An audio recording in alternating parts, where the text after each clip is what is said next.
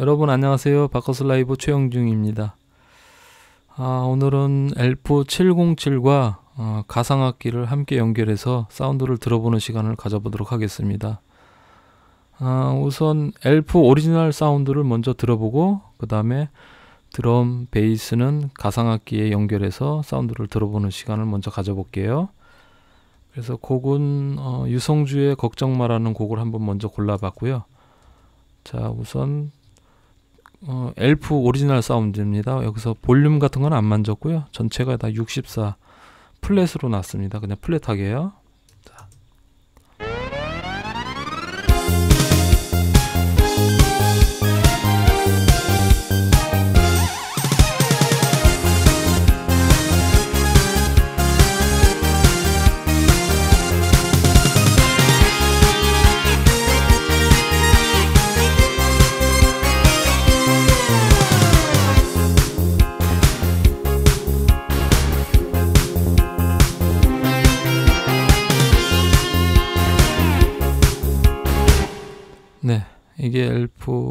사운드 어, 이고요. 그리고 제가 지금 RTA 아날라이저에서 지금 캡처를 해놨어요. 보시는 것처럼 지금 80, 63, 50 이 대역이 지금 많이 이렇게 살아서 움직이고 있죠. 이 대역이 사실은 어, 많으면 많을수록 사실 라이브 현장에서 어, 열악 뭐 어떤 분들은 벙벙거리는 사운드가 좋으면은 좋을 수도 있겠지만 사실은 이 부분을 잘못 만지게 되면은 굉장히 사운드 잡기가 힘든 부분이에요. 특히나 요즘 같이 이제 우퍼를 쓰시는 분들이라면은 더욱이 어, 음향 잡기가 아마 힘들 거예요. 이, 이 부분 때문에. 그래서 이렇게 한번 엘프는 사운드 성향이 이렇다는 걸 한번 캡처를 해봤고요. 자, 그 다음에 이번에는 음, 삐지라든가 이런 건 다 그대로 엘프 쓰는데 드럼 베이스만 미디로 외부로 외부 출력을 해서 이 VST 호스트로 어, 미디 입력이 이제 들어옵니다. 그러면은 그 미디 입력을 어, 베이스 베이스하고 그러니까 드럼과 베이스를 이렇게 어, 4개 보니까 엘프 반주기가 10, 11 이렇게 드럼을 썼고요. 12, 13 베이스를 썼더라고요. 모두 네 개의 트랙을 갖다가 그렇게 어, 썼더라고요. 그래서 저도 그래서 이렇게 네 개로 걸어놨습니다. 그래서 한번 사운드를 들어볼게요.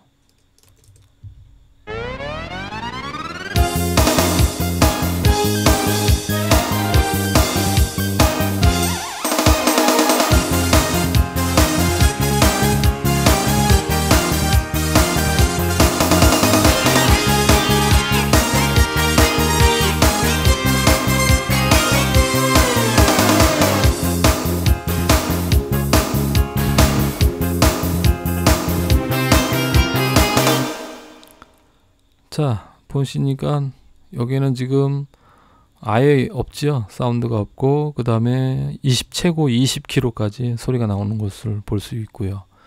그래서 스네어라든가 이런 것들이 보면은 아주 화사하고 둔더덕이 없는 그런 소리가 나죠. 이렇게 벙벙거리지 않고요. 다시 다시 원래 소리 한번 들어볼게요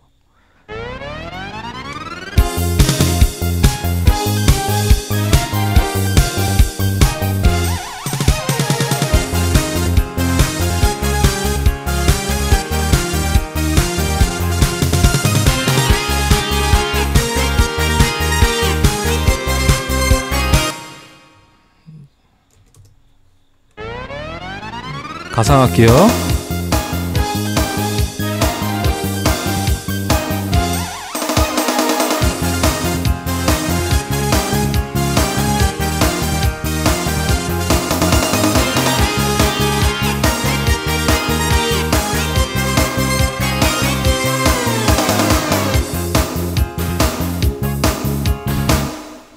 네, 지금 엘프에서 사용한 드럼 모듈과 음, 드럼 preset이요. 그러니까 8850인가요? 8850에서 선택한 preset과 어, 외부로 나가는 거는 어, General MIDI 규격에 맞춘 어, 전체 그 드럼 set은 General 규격에 맞는데 드럼 그 patch는 user가 선택을 해야 돼요. 그래서 어, 그 패치 명령을 받아서 어떤 특정 패치를 어, 지금 나오는 것처럼 엘프에서 나오는 것처럼 바꿔지지는 않아요. 그래서 제가 임의적으로 어, 로랜드 5080에서 그냥 들어올 만한 팝 드럼 셋 2를 좀 연결해서 이렇게 어, 들어봤습니다. 그래서 이제 어, 제가 이렇게 가상악기를 연결해서 들어본 이유는 음, 실제 엘프 707 지금 919가 나왔죠. 919가 지금 제가 보여드리는 이 시연 방식으로 아마 비슷하게 개발이 됐을 겁니다. 그러니까 자체 DA 컨버터에서 나오는 엘프 사운드와 그 다음에 지금 이 VST 호스트는 기타 연주자를 위해서 뭐 이를테면 어, 오디오 시그널을 넣어서 뭐 기타 플러그인들 등을 이렇게 앰플리튜브를 건다거나 그렇게 해서 이제 실제 라이브에서 이 두 가지를 동시에 쓸 수 있거든요. 물론 이것뿐만 아니라 마이크도 연결해서 그러니까 오디오 컨버터가 뭐 채널이 많고 고퀄리티 오디오 컨버터가 있다. 그러면 이런 식으로 해서 어, 활용할 수 있습니다. 그러니까 엘프가 다시 말해서 그런 플랫폼식 그런 방식으로 아마 개발이 되지 않았을까. 근데 여기서 하나 짚고 넘어가고 싶은 거는 엘프가 이런 것들은 컨셉을 잘 잡았는데 정작 그 어, 사운드 모듈에서 최종적인 결과물이 나와 DA converting 되고 난 다음에 그 다음에 제가 이제 전문 지식이 없는데 OP amp를 통해서 아마 최종적인 사운드 캐릭터가 완성이 될 거예요. 그러니까 거기서 이제 음 사운드가 품질이 결정되는데 이 부분에서 아마 엘프가 좀 기술이 좀 미흡하지 않은가. 음 마치 그냥 아 그냥 구질구질한 좀만 속된 말로 좀 구질구질한 사운드 같아요. 좀 저음이고 뭐 전체적인 밸런스도 안 맞고. 그러니까 뭐 정말 그야말로 어 그냥 old한 그냥 아주 그냥 어, 다 썩어 문드러지는 그런 스피커에서 나오는 소리 같은 그런 사운드. 정제되지 않은 사운드. 그러니까 아무래도 이게 기술이 없다기보다도 엘프 개발하는 분들이 아마 그런 쪽에 좀 어, 좀 고민이 없지 않았나. 좀 고민을 했으면은 적어도 이제 음향을 좀 다루고 현장에서 좀 다양하게 이제 경험이 있는 분들이 아무래도 그 기술진에 이렇게 합류해서 같이 갔으면 이렇게 안 좋게 만들지는 않았을 텐데 하는 생각이 자꾸 들더라고요. 지금 보시는 바와 같이 아까처럼 저음도 그냥 막 콘, 이 컨트롤이 안 될 정도로 막 쏟아져 나오게끔 그렇게 이제 만들어져 있고 그래서 아무래도 이제 옛날에는 열악한 장비니까 저음을 좀 많이 내기 위해서 뭐 그러면 좋을 수도 듣기에는 좋을 수도 있지만 실제 그렇지는 않습니다. 사용하다 보니까 저도 사용하다 보니까 저음이 불필요하게 그러니까 통제될 수 없는 벙벙벙벙거리는 저, 저 베이스 특히 베이스가 아주 제일 만지기가 힘들더라고요. 그러니까 베이스만 어떻게 따로 빼가지고 어, 진작에 이렇게 한번 해볼 수 있었다면은 어, 좋을 것 같아요. 앞으로도 제가 좀 음, 시간이 된다면은 이렇게 드럼하고 베이스를 따로 빼서 사운드를 한번 만들어 보는 것도 좋을 것 같아요. 그러니까 드럼을 아무래도 이제 그 컨탁이나 그다음에 배터리라는 그런 드럼 머신이 있어요. 드럼을 이제 전문적으로 활용하는 그런 데다가 거기서 이제 그 좋은 그러니까 아무래도 전체 음악에 다양하게 matching이 될 수 있는 드럼하고 베이스를 기본 one man band로 들여오는 거죠. 그러니까 드러머 한 명하고 베이스 주자를 딱 들어오는 거죠. 그래서 베이스 주자는 음 베, 그러니까 베이스 파트 따로 드럼 파트 따로 이렇게 연주시킬 수 있는 아마도 그렇게 해가지고 개발을 한다면은 아무래도 음악인들의 자존감도 올라가면서 훨씬 더 리얼하고 real section이 가능한 그런 아주 멋진 사운드가 될 것 같아요. 지금 예, 저는 그런 가능성을 지금 봤습니다. 그래서 이것들 뭐 사실 저보다도 뭐 자본이 있는 엘프사가 그렇게 만들어주면야 어, 음악인들에게 더할 나위 없이 좋겠죠. 근데 엘프사는 그냥 그야말로 뭐 색소폰 동호회라든가 이런 사람들한테 그냥 장난감에 그냥 장난감으로 점점 점점 점점 매몰되어 가는 것 같아요. 물론 그쪽에 있는 사람들은 뭐 이걸 갖고 밥 벌어먹고 하는 게 아니라 말 그대로 취미로 어, 사용하는 사람들이기 때문에 음향하고는 뭐 음향하고는 거리가 멀겠죠. 음악적인 어떤 조회도 없고 그냥 그냥 나오는 대로 그냥 그렇게 불, 사용하는 분들이 대부분이다 보니까 이렇게 음악적인 그런 디테일한 부분까지 들어가지 못하는 것 같아요. 한 곡만 더 들어보고 마무리 할까요? 그래서 자 이번에도 어, 엘프 707만 들어보도록 하겠습니다. 가상악기를 빼고 엘프 707 순수 버전이요.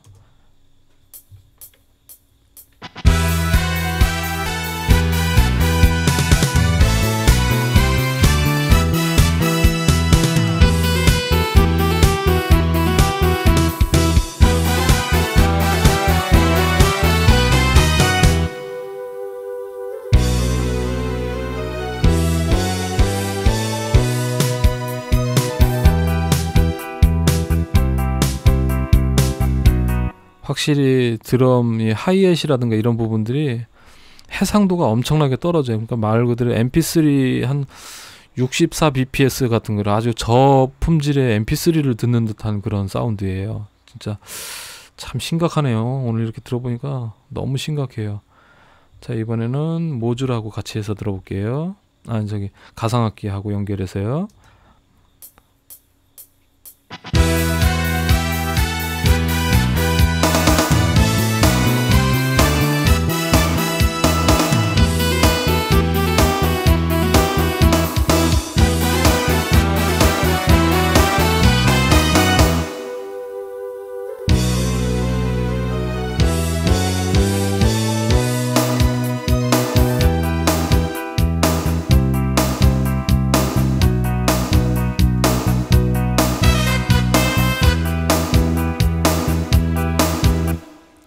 그렇죠. 하이햇하고 스네아, 대고 소리가 다 명료하죠. 네, 이렇게 고음 쪽이 어, 해상도가 좋아야지만이 모든 것이 다 살거든요. 근데 엘프는 지금 고음 쪽이 있는데 아예 다 포기를 했어요. 그래서 소리가 없다 보니까 뭐 707은 그나마 나은데 909 같은 경우는 더 심하고요. 아예 고음이 없어요. 그래서 어, 스네아가 마치 그냥 장작 패개는 소리가 나죠. 팩 팩 팩 거리는 아, 참 심각하네요. 나 이렇게까지 저는 시연을 하면서 얼마나 차이가 있을까라는 생각을 나름 곰곰이 생각했는데 실제 이렇게 들어보니까 어, 너무 심각하네요. 야, 이거 어떡하냐. 아니 어떻게 드럼 소리가 이렇게 장작패기는 소리가 납니까? 다시 한번 들어볼까요? 원, 원 원곡이요? 아 참 이거 돌아버리겠네.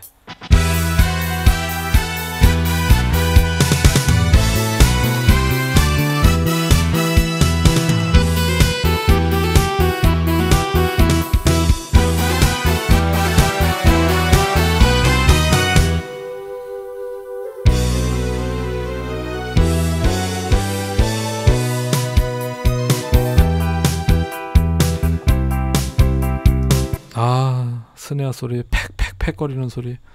진짜 못 들어주겠네요. 자 이번에는 가상악기로 하고 연결해서요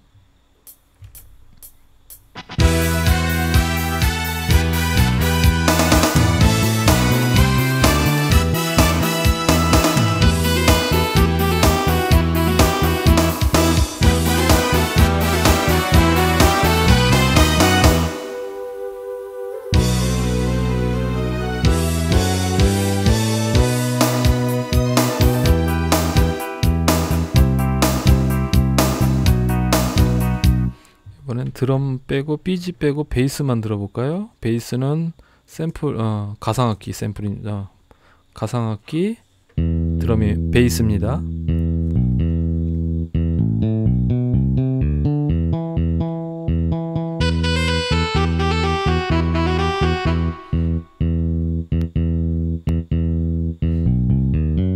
네, 이게 가상악기 베이스고요. 어, 자체 베이스 한번 들어볼까요?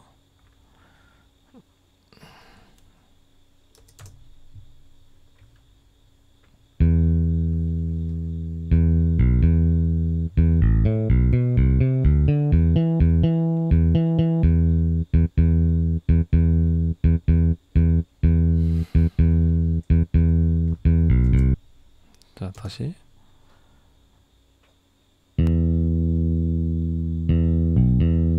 가상악기입니다.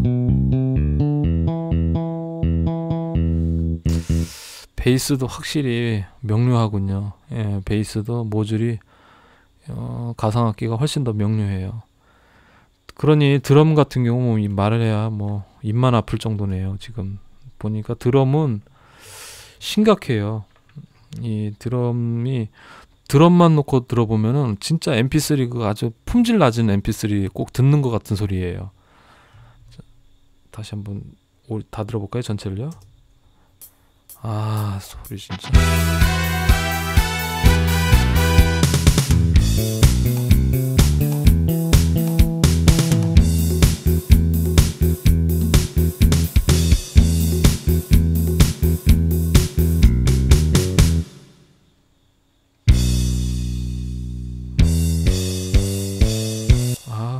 못 들었겠다. 가상악기요.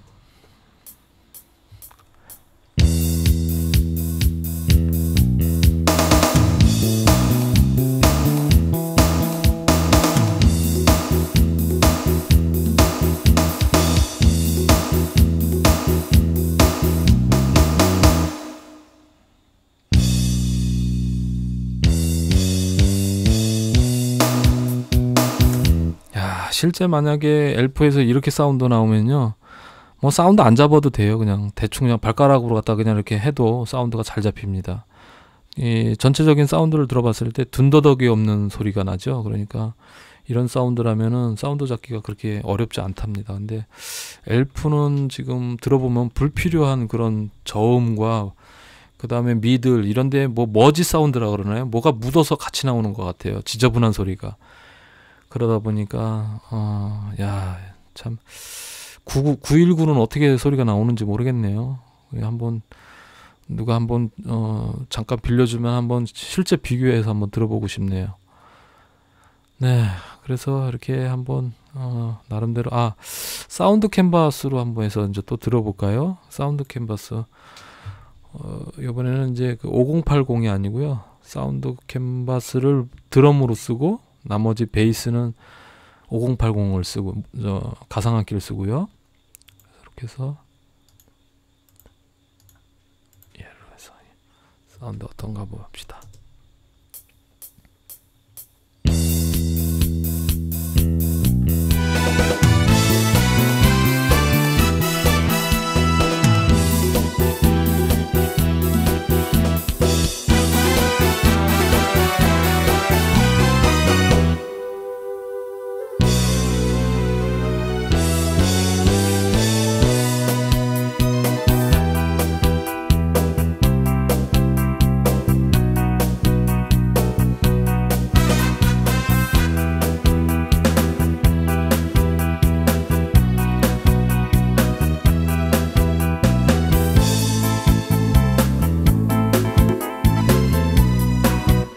확실히 어, 가상악기 사운드 캔버스도 고음이 다 살아있네요. 그러니까 전체적으로 어, 엘프에서 나오는 것보다는 훨씬 더 명료하고 어, 힘은 없어요. 왜냐면은 어, 얘가 지금 개인을 좀 더 그러니까 좀 이득을 좀 개인을 좀 더 줘야 되는데 지금 주지 못해. 그러니까 5080보다 사실은 사운드가 좀 빈약해요. 그래서 뭐 이 빈약하다 그래서 이거를 음, 이렇게밖에 못 쓰냐? 아니에요. 얼마든지 야무지고 단단하게 또 할 수 있다 있답니다. 그냥 아무것도 지금 안 하고 그냥 단지 개인만 지금 써서 사운드를 좀 들어본 거예요. 그러니까 엘프에서 들어오는 볼륨하고 그 다음에 가상악기 볼륨을 서로 이렇게 밸런스만 잡아서 지금 들어본 거거든요. 그 중에 지금 사운드 캔버스는 지금 5080보다 힘이 좀 약하다 이런 생각이 들어요. 어, 누구나 누가 들어봐도 어, 많이 느끼시 어, 여러분도 다 느끼실 수 있는 그 정도죠. 네, 그래서 음, 5080과 아, 엘프 707, 5080 가상악기, 그다음에 사운드 캔버스 가상악기 이렇게 해서 한번 함께 연결해서 어, 시, 들어보는 시간을 가져봤습니다. 네, 다음에 뵙겠습니다. 감사합니다.